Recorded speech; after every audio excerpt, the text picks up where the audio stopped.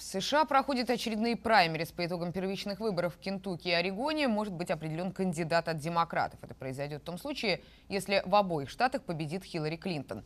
Для выдвижения официальным кандидатом от партии «Осла» экс-госсекретарю США не хватает около 140 голосов делегатов съезда. У республиканцев все проще. Остался один Трамп, который, по всей видимости, получит все необходимые для автоматической номинации голоса однопартийцев.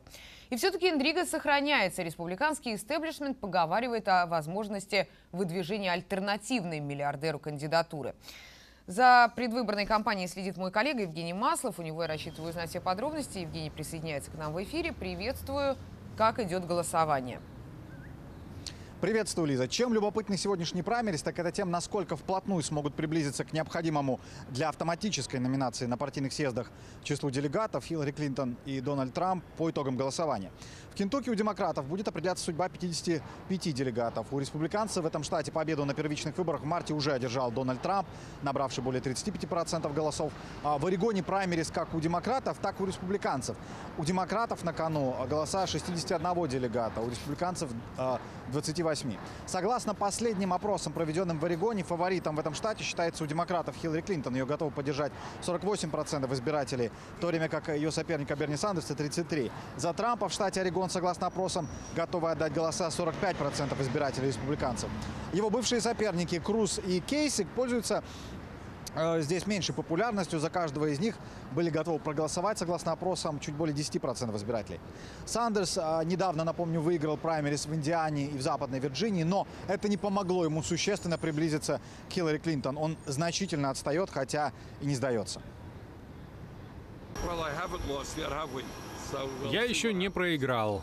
Увидим, что получится. Мы очень напряженно работаем в обоих штатах с тем, чтобы привлечь избирателей на свою сторону. Хиллари Клинтон проводит много времени в Кентукки и тратит там много денег на агитацию. Я думаю, она понимает, что там мы можем добиться успеха.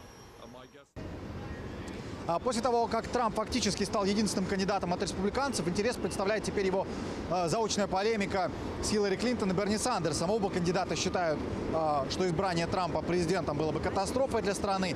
И на этом сейчас фокусирует свою риторику э, Хиллари Клинтон.